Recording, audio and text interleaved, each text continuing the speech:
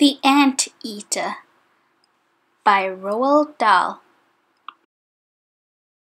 Some wealthy folks from USA who lived near San Francisco Bay possessed an only child called Roy, a plump and unattractive boy, half baked, half witted, and half boiled, but worst of all, most dreadfully spoiled.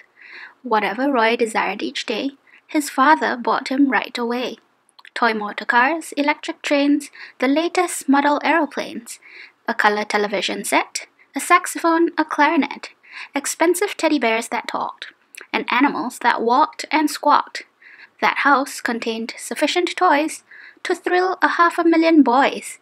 As well as this, young Roy would choose two pairs a week of brand new shoes. And now he stood there shouting, What on earth is there I haven't got? How hard to think of something new! The choices are extremely few. Then added, as he scratched his ear, Hold it, I've got a good idea. I think the next thing I must get should be a most peculiar pet, the kind that no one else has got, a giant ant-eater. Why not? As soon as father heard the news, he quickly wrote to all the zoos. Dear sirs, he said, my dear keepers, do any of you have ant-eaters? They answered by return of mail. Our ant-eaters are not for sale. Undaunted, Roy's fond parent hurled more messages around the world. He said, I'll pay you through the nose if you can get me one of those. At last he found an Indian gent. He lived in Delhi in a tent, who said that he would sacrifice his pet for an enormous price. The price demanded, if you please, was fifty thousand gold rupees. The ant-eater arrived half dead. It looked at Roy and softly said, I'm famished. Do you think you could? Please give me just a little food? A crust of bread, a bit of meat. I haven't had anything to eat in all the time I was at sea, for nobody looked after me. Shouted, No, no bread or meat. Go find some ants. They're what you eat. The starving creature crawled away. It searched the garden night and day. It hunted every inch of ground, but not one single ant it found. Please give me food, the creature cried. Go find an ant, the boy replied. By chance, upon that very day, Roy's father's sister came to stay.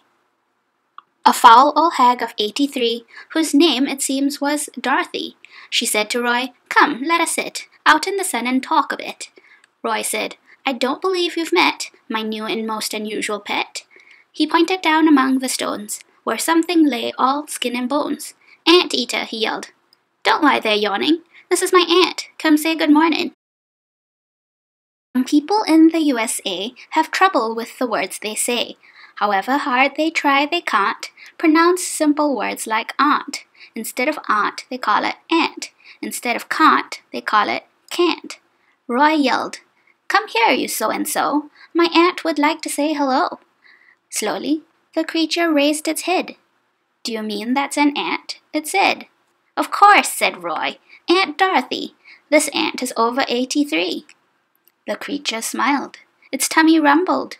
It licked its starving lips and mumbled, A giant ant! By gosh, a winner! At last I'll get a decent dinner. No matter if it's eighty-three, if that's an ant, then it's for me. Then, taking very careful aim, it pounced upon the startled dame. It grabbed her firmly by the hair and ate her up right then and there, murmuring as it chewed the feet, the largest ant I'll ever eat. Meanwhile, our hero Roy had sped in terror to the potting shed, and tried to make himself obscure behind a pile of horse manure. But the ant-eater came sneaking in, already it was much less thin, and said to Roy, You little squirt, I think I'll have you for dessert.